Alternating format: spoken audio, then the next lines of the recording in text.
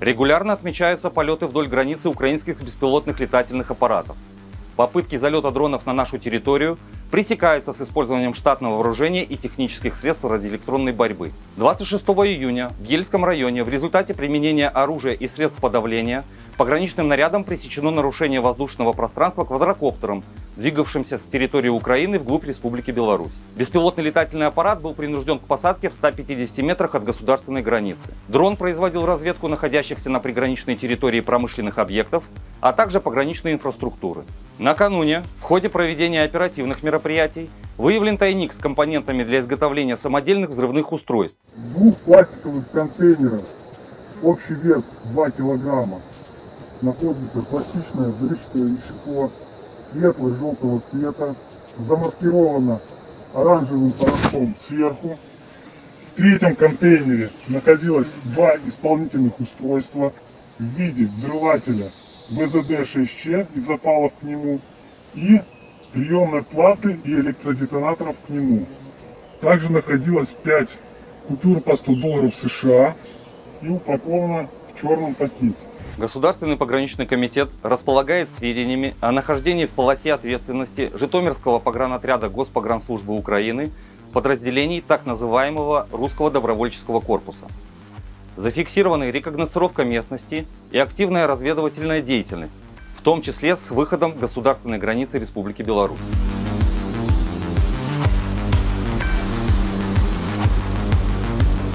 Обстановка на белорусско-украинской границе характеризуется нарастанием напряженности. Коалиции западных стран развязан горячий конфликт вблизи нашей территории.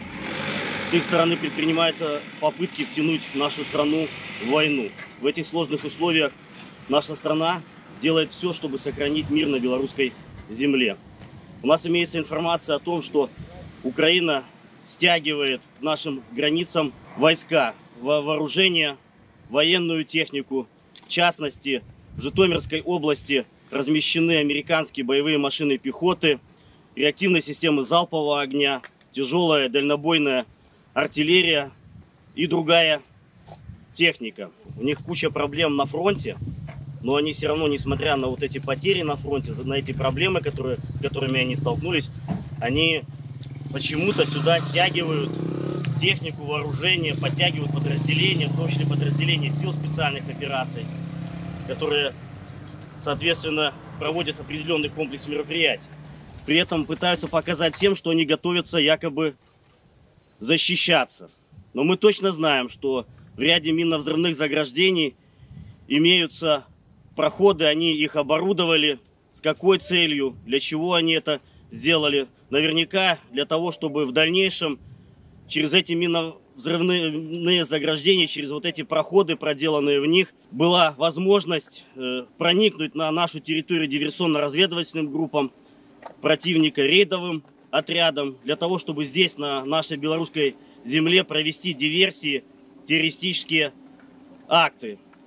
Кроме того, мы знаем о том, что ВСУ развернули системы наблюдения радиоэлектронной разведки вблизи наших границ, широко используют беспилотные летательные аппараты.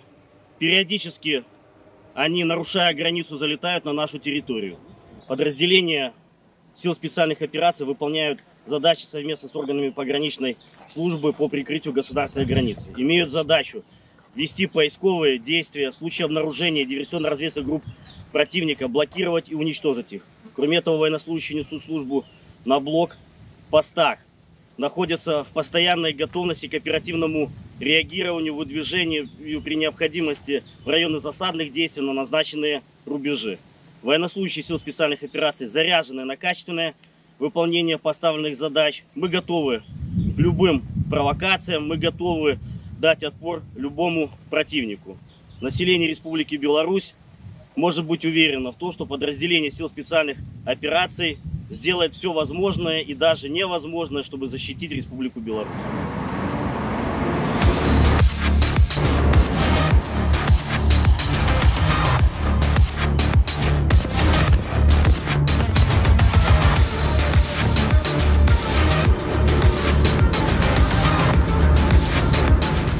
Отмечаются постоянные нарушения государственной границы, в воздушном пространстве нашего государства.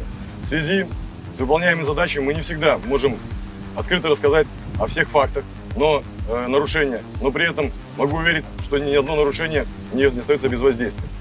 Необходимо учитывать, что подразделения э, Вооруженных сил Украины, находящиеся на приграничной территории, э, обеспечены не только развед- разведывательными беспилотными летательными аппаратами, но и э, аппаратами э, с возможностью нанесения поражения в глубину Республики Беларусь. Для э, обеспечения обнаружения летательных аппаратов воздушном пространстве Республики Беларусь. Дополнительно наращены силы и средства разведки, а именно выведены подвижные раз- радиолокационные группы радиотехнических войск, нарощена система э, по- постов визуального наб- наблюдения, дополнительно выведены силы и средства э, ПВО в назначенные районы для прикрытия южных рубежей, а также критически важных объектов Республики Беларусь. В круглосуточном режиме осуществляются полеты дежурных экипажей, авиации, э, с задачей патрулирования государственной границы, ведения разведки, а также реагирования на все возможные возникающие задачи. Действия по обеспечению безопасности в воздушном пространстве осуществляются в тесном взаимодействии с подразделениями пограничного комитета Республики Беларусь. Хотелось предупредить и остудить горячие головы тех, кто пытается вовлечь нашу страну в вооруженный конфликт. Мы готовы решительно применить все имеющиеся силы и средства для защиты территорий и населения Республики Беларусь от возможных провокаций в воздушном пространстве. Зубер, я Тверь, сюрприз 2020. Я же Бер Сюрприз 2020, да. По команде командир роты подумала была. Веду разведку местности как в видимом режиме, так и в инфракрасном.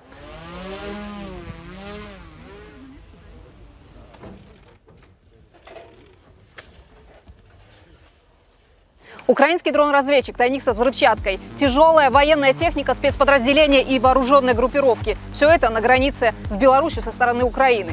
Мы все это видим, фиксируем, реагируем. Потому и постоянные учения, потому и усиление на границе.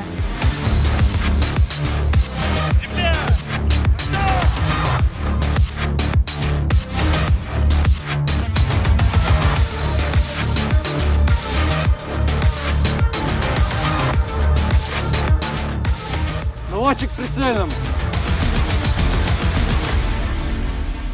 Киртихи наведен готов.